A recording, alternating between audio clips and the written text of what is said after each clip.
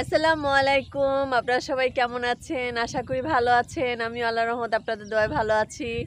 তো দেখতেই পাচ্ছেন আমার পিছনে কাশবন। আমি হচ্ছে এই মাত্র মানে রেডি হয়ে একটু বের হয়েছি। মানে অনেকে তো জানেন না, সেই উদ্দেশ্যে বলতেছি আমি আমার মার বাড়িতে এসেছি। তো আমার মার বাড়ির সামনেই হচ্ছে এই কাশবন। আমি কোনো দিয়া বাড়ি বা কোথাও ঘুরতে আসিনি। তো আমার মার বাড়িটা একটু দেখিয়ে দিই আপনাদেরকে। যারা আর কি আমার ভিডিওতে আজ প্রথমবার ভিজিট করেছেন, তাদের উদ্দেশ্যে দেখাচ্ছি। ওই যে দেখা যাচ্ছে যে বাড়িটা, ওইটাই কিন্তু আমার মার বাড়ি। আর মার বাড়ির সামনে যে এত সুন্দর কাশবন আর হচ্ছে এই যে এটা হচ্ছে আমাদের নৌকাটা, ওইটা হচ্ছে আমাদের নৌকা। তো মার বাসা থেকে নৌকায় করে আমি এসেছি। তো এখন হচ্ছে আমি কাশবনের এদিক দিয়ে একটু মানে ভিডিও করব। অবশ্যই আমি আপনাদের জন্য এই ভিডিওটা করার জন্য এসেছি। তো কাশবন আমার ভীষণ পছন্দ। আমি সারাটা বছর এই কাশ ফুলের জন্য অপেক্ষা করি যে কখন কাশ ফুল ফুটবে। এই যে দেখেন কত বড় বড় কাশ ফুলগুলো ফুটে আছে অনেক বড় এই কাশ ফুলগুলো আমি একটু দেখাই আপনাদেরকে। আর আমি কিন্তু এই কাশ ফুলের সাথে মিলিয়ে সাদা রঙের ড্রেস পরেছি সাদায় সাদায় একাকার হয়ে যাব। এই জন্য আসলে আমার ছেলে আসলে হয়তো ও সুন্দর করে ভিডিও করে দিতে পারতো বা সুন্দর করে ছবি তুলতে পারতাম। যেহেতু ছেলে আসে নাই তো আমাকে একাই ভিডিওগুলো করতে হচ্ছে।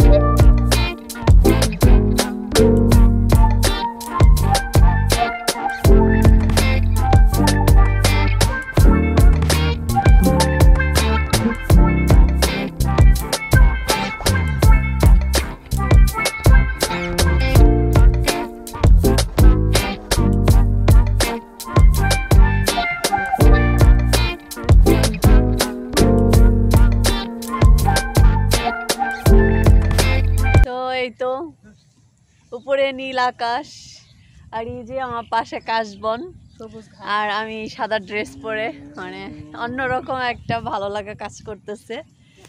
তো কি ভিডিও করব বুঝতে পারতেছি না এমন সুন্দর জায়গায় আসলে আসলে মনটা এতটাই ভালো হয়ে যায় যে তখন আর কোনো ভিডিও করতে ইচ্ছা করে না। মনে হয় যে আমি নিজেই মানে ব্যাপারটাকে উপভোগ করি।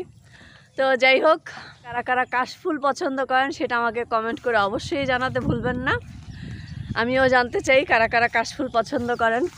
তো এই তো আমার শরতের কাশফুল চিন্তা করতেছি এই কাশফুলগুলো আমার ননদের জন্য নিয়ে যাব, কারণ ও কাশফুল খুব পছন্দ করে। তো আমি এইখানে চিন্তা করতেছি কিছু শর্ট ভিডিও করব।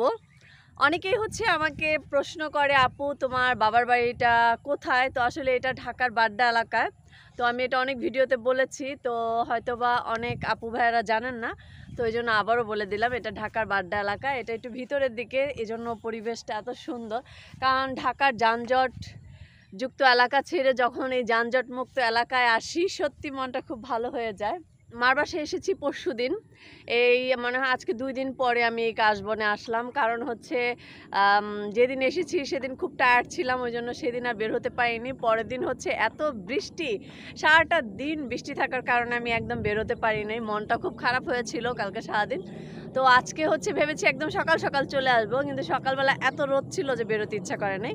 তো তো খাওয়া দাওয়া করেই হচ্ছে দুপুরের পর পর আমি একদম বের হয়ে গেছি ভিডিও করার জন্য। তো মানে কাশফুলগুলো দেখতেই আমার যে কি ভালো লাগতেছে এটা আপনাদেরকে বলে বোঝাতে পারব না যে কি অসম্ভব ভালো লাগতেছে আমার।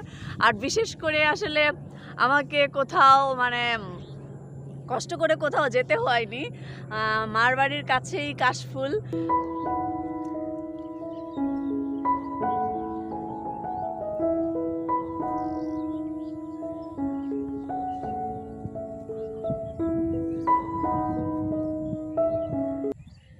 কোথাও আমার হারিয়ে যাওয়ার নেই মানা, মনে মনে।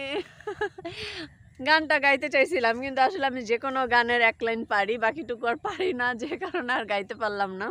আমার হারিয়ে যেতে ইচ্ছা করছে এখন। তো, এখন অনেক ভালো লাগতেছে, কিন্তু পাশাপাশি মনটাও খারাপ লাগতেছে, কারণ হচ্ছে কালকে বাসায় চলে যাব। তো যে কারণে মনটা খারাপ লাগছে, যেহেতু ছেলেকে বাসায় রেখে এসেছি তো ছেলে তো মন খারাপ করতেছে, ছেলে আসতে চাচ্ছে আর ছেলে আসলে ছেলের পড়ার ক্ষতি হয়ে যাবে, যে কারণে হচ্ছে ছেলেকে বলেছি, না বাবা, তোমার আসার দরকার নেই, আমি চলে আসব। আর মেয়েও হচ্ছে বেশি দিন থাকতে চায় না, বাবাকে ছাড়া, বাবা, ভাই এদেরকে ছাড়া বেশি দিন থাকতে চায় না।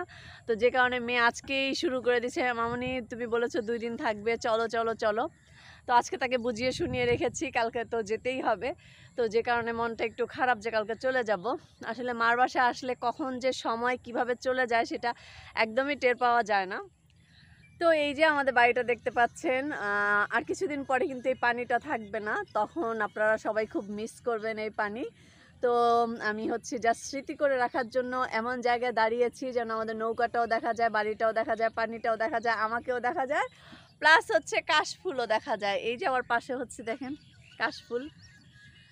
এই, এগুলো দেখা গেছে কিছুদিন পরে আমাদের এই পানিগুলো থাকবে না, একদম শুকিয়ে যাবে। কারণ আমি শুনেছি যে আমাদের এই জায়গাটা বালু দিয়ে ভরাট করে ফেলবে। তখন এগুলো আমার জন্য শুধুই স্মৃতি হয়ে থাকবে, যে কারণে হচ্ছে এখন বেশি বেশি করে ভিডিও করে রাখতেছি। যেন পরবর্তী সময়ে আসলে বাচ্চারা বড় হলে দেখতে পারে যে, নানু বাড়িটা আগে কেমন ছিল আর এখন কেমন? আসলে চোখের সামনেই সব কিছু অনেক চেঞ্জ হয়ে যায়। আমরা যখন এসেছি, তখন রাস্তাঘাটগুলো অনেক খারাপ ছিল, এখন অনেক ইমপ্রুভ হয়েছে, অনেক সুন্দর হয়ে গেছে। তো আর কিছুদিন পরে আমাদের এই পানিও থাকবে না। এই যে নৌকায় করে যাতায়াত, এইটাকে খুব মিস করব। আসলে খুব এনজয় করি নৌকায় করে যাতায়াতটা। তো আমার একটা আপু বলেছে, আপু, তোমাদের বাড়ির মানে পানি, নৌকা, এগুলো খুব ভালো লাগে। নৌকা তার খুব পছন্দ।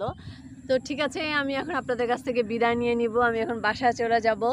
তো বাসা যাওয়ার পর থেকে অবশ্যই নৌকায় কিছুটা ভিডিও শেয়ার করব, তো আমি আগে থেকেই বিদায় নিয়ে নিচ্ছি।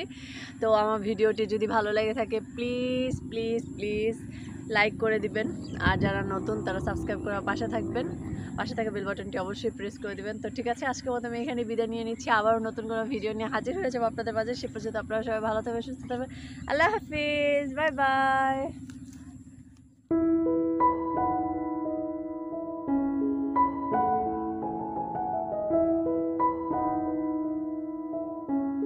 তো আমি নৌকায় উঠে গেছি, এখন বাসায় চলে যাব। ওই গানটা গাইতে ইচ্ছা করতেছে। সব সুখিরে পার করিতে নেব আনা আনা, তোমার বেলা নেব সখী, তোমার কানের শোনা সখী গো। ও, আমি প্রেমের ঘাটের মাঝি, তোমার বেলা পয়সা নেব না। এই গানটা অবশ্য ছেলেরা গায় কিন্তু কি করব? আমার এরকম একটা দৃশ্যের সাথে আমার মানে ছেলে যেহেতু নাই, আমার হাজব্যান্ড যেহেতু নাই, তাই আমাকে গাইতে হচ্ছে। তো কি আর করা? গানটা আমার খুবই পছন্দের একটা গান। তো গানটা না গিয়ে পারলাম না।